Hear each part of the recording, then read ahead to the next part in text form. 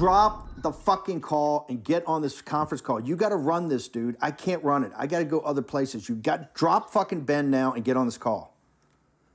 God damn it. Okay, stand by one second. Sam's going to join us momentarily.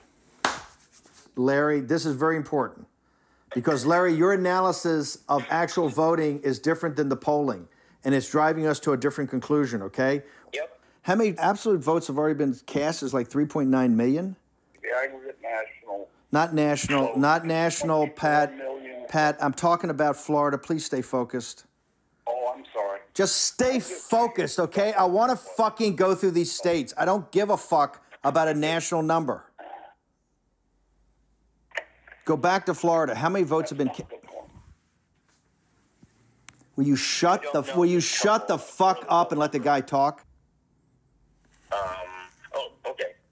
So far, 1.7%